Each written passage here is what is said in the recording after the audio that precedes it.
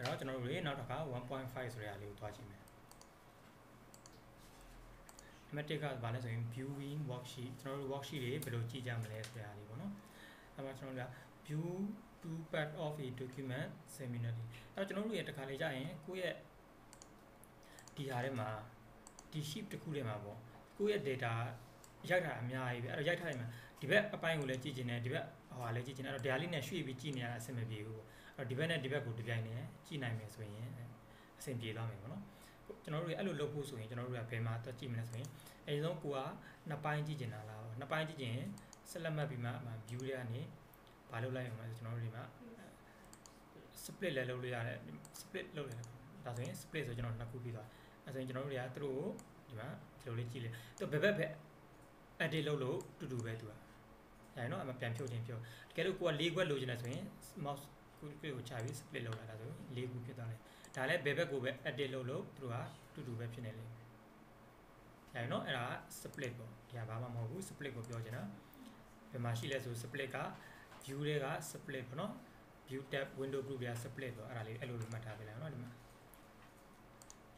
ဒါလည်းကျွန်တော်တို့တွေက view ကိုကြည့်ချင်တယ်ဆိုတော့ view အောက်မှာပဲရှိလိမ့်မယ်အဲ့လိုလေးပေါ့နော်ဘာလို့လဲနောက်တစ်ခုကကျတော့ view to worksheet in the same workbook side by side ဒီခါကျတော့ကျွန်တော်တို့တွေကဒီ workbook တစ်ခုထဲမှာရှိတဲ့ဒီ sheet နှစ်ခုကိုတပြိုင်တည်းကြည့်ချင်တယ်ကျွန်တော်တို့တွေကညာနော်တပြိုင်တည်းကြည့်ချင်တဲ့အခါမျိုးမှာလောလောဆယ်ကျွန်တော်တို့တွေကအဲ့ကြရင်ရှိနေတာ window တစ်ခုပဲရှိနေတယ်ညာနော်အဲ့အတွက်ကျွန်တော်တို့ကဘာလုပ်ပေးရမလဲဆိုရင် window အငှားတစ်ခုခေါ်လိုက်ရမယ်။အဲနော် window အငှားတစ်ခုခေါ်ဖို့ဆိုဘယ်မှာရှိလဲဆိုဒီကနေမှာ new window ဆိုပြီးမှရှိ။အခုဒီမှာ file လေးမှာကြည့်လိုက်အောင်နော်။ file လေးမှာတစ်ခုပဲရှိနေတယ်။အဲ့အချိန်မှာကျွန်တော်က new window ဆိုလုပ်လိုက်မယ်။ကြည့်လိုက်ဒီမှာနှစ်ခုဖြစ်သွားတယ်ဒီမှာ။ file နာမည်တူတူပဲ b book 1-1 book 1-2ဆိုမှနောက်တစ်ခုဖြစ်လာပြီ။ဒါ window နောက်တစ်ခုပေါ်လာပြီ။အဲ့ကြမှာကျွန်တော်တို့ကဒီကနေဘာလုပ်လိုက်လို့ရလဲဆိုရင် arrange all လို့ဆိုလုပ်လိုက်ရ။ပြီးကြရင်အဲ vertical ကြည့်တယ်ဆိုရင် vertical ဆိုကြည့်အဲ့လိုမျိုးအဲ့တော့ဒီဘက်ကနေမှဒီ sheet လေးကိုရွေးလိုက်အဲ့တော့ဒီဘက်ကဒါကြည့်မယ်ဒီဘက်ကဒါကြည့်မယ် तू ကဘယ်ဘက်ပဲ edit လုပ်လို့အဲ့ workbook နှစ်ခုလုံးမှာ तू ကလုပ်နေလိမ့်မယ်အဲ့တော့ ကိုဘယ်ဘက်မှာကြည့်ကျင်တာလဲပေါ့နော်အဲ့တော့ဒါကနှစ်ခုကိုက sheet ၃ခုဒီဘက်နဲ့ကြည့်ကျင်တယ်နောက်ထပ် window တစ်ခုထပ်ခေါ်လိုက်ကြိုင်မယ် arrange or vertical ဆိုလုပ်လိုက်ဒါဆိုရင် sheet ၃ခုဒီဘက်နဲ့ကြည့်လို့ရသွားလိမ့်မယ်ညရင်နော်အဲ့တော့ concept ကတော့ကိုဘယ်လောက်ပဲကြည့်ကျင်ကြည့်ကျင် window ကိုထပ်ခေါ်လိုက်နောက်ဆုံးကျရင်ပြန်ပိတ်လိုက်ပိတ်လိုက်တစ်ခုပဲခြံလိုက်ညာနော်အဲ့ဒါကိုက workbook တစ်ခုတည်းက worksheet တွေအဲ့လိုကြည့်ကျင်တဲ့အခါမျိုးမှာ data တွေအဲ့ဒါဆိုဟိုဘက်သွားကြဒီဘက်အဲ့လိုလုပ်နေကြမလို့တော့ဘူးပေါ့နော်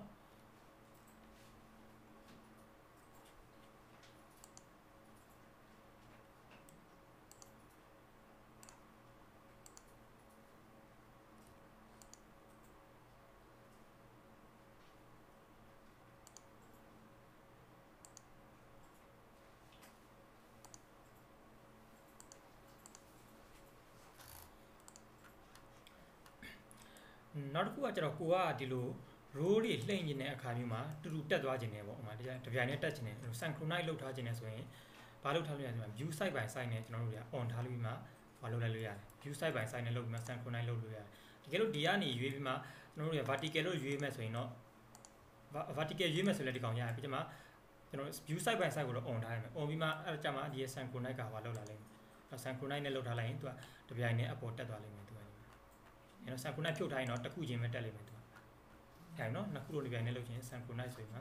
တစ်ပြိုင်နဲ့တက်လိမ့်မယ်အဲ့ဒါက workbook တစ်ခုတည်းက sheet နှစ်ခုသုံးခုလေးခုကြည့်လို့ကြည့်တဲ့ဟာပေါ့နော်ပထမတစ်ခုကအဲ sheet တစ်ခုတည်းကနှစ်ပိုင်းသုံးပိုင်းခွဲကြည့်ရ split လုပ်ကြည့်တာပေါ့နော်နောက်တစ်ခုကကျတော့ view to worksheet of different workbook ဒီခါကျပါလဲဆိုရင် different workbook workbook နှစ်ခုဖြစ်သွားပြီ။ဟုတ်နော်။ အဲ့တော့ကို workbook နှစ်ခုကို side by side ကြည့်ခြင်းနဲ့ဆိုရင်အဲ့ဒီ workbook ကိုကျွန်တော်တို့ကဘာလုပ်ထားပေးရမလဲဆိုရင်ဖွင့်ထားပေးရမှာပေါ့။ကိုကြည့်ခြင်းတဲ့ workbook ကိုအရင်ဆုံးဖွင့်ထားပေးရမှာ။အခုကျွန်တော်က file နှစ် file ဖွင့်ထားလိုက်ပြီ။အဲ့တော့ကျွန်တော်မှဒါ window နှစ်ခုရှိသွားပြီ။ဒါပေမဲ့ဒီ window နှစ်ခုကဘာမှမပတ်သက်ဘူးသူက file တစ် file စီ။ရပြီနော်။အဲ့တော့ file တစ် file စီဖြစ်တယ်အဲ့လိုပဲခုနကတော့လုပ်ချင် arrange နဲ့ပဲလုပ်လိုက်ပေါ့။ arrange ဒီဘက်မှာ edit လုပ်တာနဲ့ဒီဘက်မှာ edit လုပ်တာသူတို့နှစ်ခုကဘာမှမပတ်သက်ဘူး။ရပြီနော်။အဲ့ဒါကဟောလုပ်တရားလေး။ဒါလည်းခုနကတော့ view side by side နဲ့ synchronize လုပ်လို့ရတယ်။ဒီပြန်နဲ့တက်ချင်ပေါ့။ဟုတ်ပြီ။အဲ့မှာကျွန်တော်တို့ဒီလိုလေးထပ်လုပ်မယ်။ဒီ workbook ကိုကြတော့ sheet နှစ်ခုကိုဖွင့်ခြင်းနဲ့ဒီ workbook ကိုကြတော့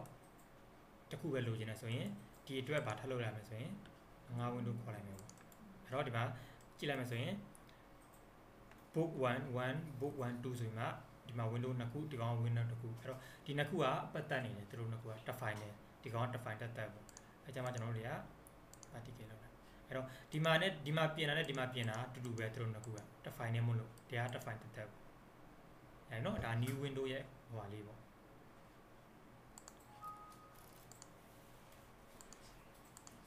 okay အဲ့တော့ view ကိုအဲ့လို၃ခုအပိုင်းလိုက်ဟိုကကြည့်ချင်တဲ့အခါဒီမှာအဲ့လိုကြည့်လို့ရတယ်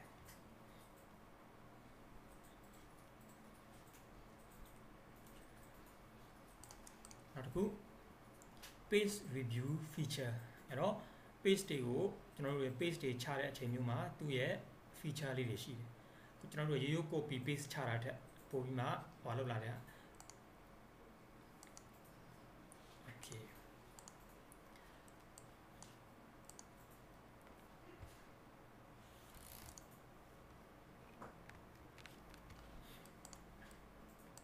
ကျွန်တော်ဒီမှာ copy ကူးခြင်းတယ် ဒီရဲ့ format တည်တတ်မယ် copy ကူးခြင်းတယ်အထက်ကစာတွေမပါခြင်းဘူးအဲ့ဒါမျိုးဆိုလည်းဘယ်လိုလဲ copy ယူမယ်ဒီမှာ paste special format ဆိုရင်မှရှိတယ် paste ကိုမချလိုက်ဘူးเนาะ paste ကိုတက်တက်ချလိုက်ရင်အကုန်ပါလာလိမ့်မယ်သူကအဲ့မှာကျွန်တော်တို့တွေကဒီမှာ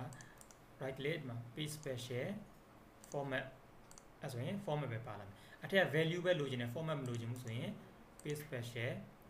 value ဆိုမှလောက်လာ အဲ့တော့ကိုလိုချင်တဲ့ဟာလေးကိုဘယ်ကနေသွားရွေးလို့ရလဲဆိုရင်ဒီမှာ paste special ကနေလာရွေးလို့ရတယ်။ညာနော်အဲ့ဒါ paste special ဆိုတဲ့ဟာလေးတခု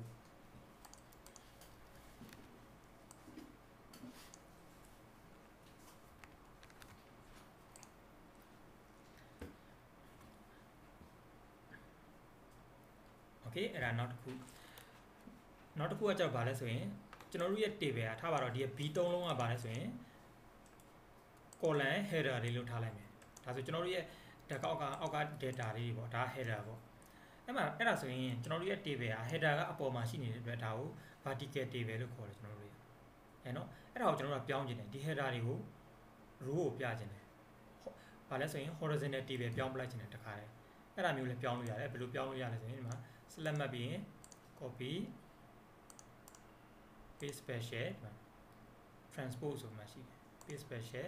transport ဆိုကြည့်လိုက်မယ် b တွေက header ဒီဘက်ရောက်ဒီကောင်ကို copy ပြန်ယူ paste special transport ဒါဆိုရင်အဲ့လိုအပြန်အလှန်ပြောင်းလို့ရတယ်ဒါနော် paste special တွေကဟာတွေပဲနော်အဲ့တော့ဘာပဲမှတ်ထားရင်ကျွန်တော်တို့က transport လို့မှတ်ထားလိုက်ရပြီ transport လုပ်တယ်ဆိုတဲ့ဟာက row ကနေ column ပြောင်း column ကနေ row ပြောင်းနေတာ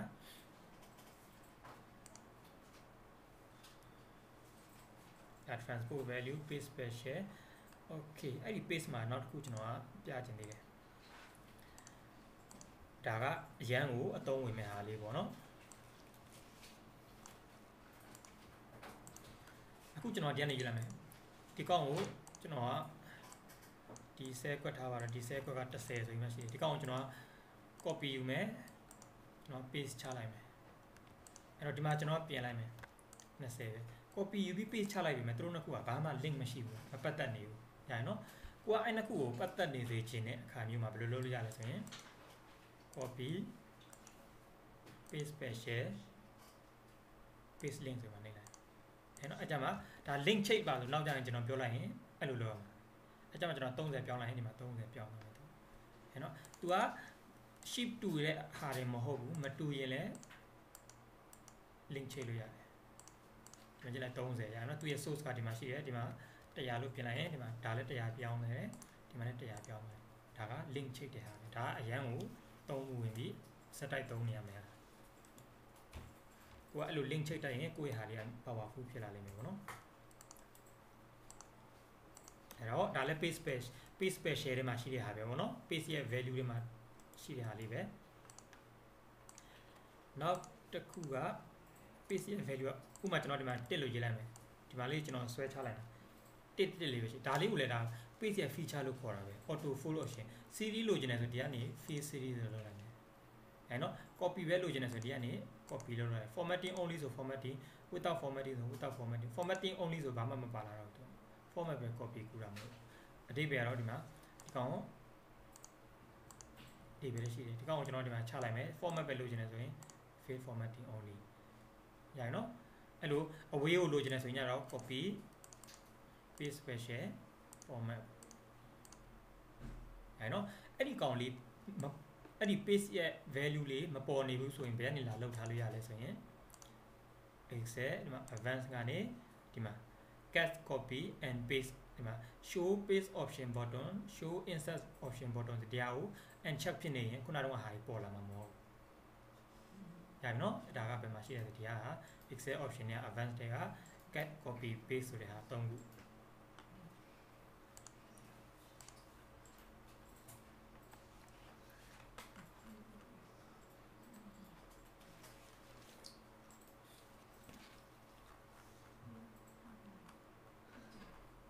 okay တစ်ချက်လောက်ကြည့်အောင်လောက်ကြည့်လိုက်ပါနော်အဲ့ဒါလေး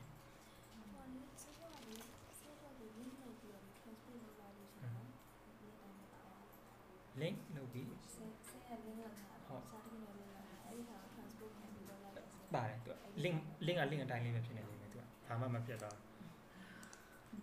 example ထားပါတော့ဒီကောင်းလေးကိုဒီမှာ link ချလိုက်မယ်ဒီမှာ paste link ကိုချိတ်ထားလိုက်မယ်ပေါ့နော်ကျွန်တော်တို့ copy paste special transpose ဆိုလို့လာမယ်ဒီ link နဲ့ဒီ link ကချိန်နေသေးတယ်။ဘာကြောင့်အဲ့လိုဖြစ်နေလဲဆိုတာကိုကျွန်တော်ပြမယ်ခဏနေရ။တော့မပြောင်းတော့ဘူး။သူ link ကအမြဲတမ်းတိနေတယ်မှတ်မိနေတယ်။ဘာကြောင့်လဲဆိုခဏနေပါလေ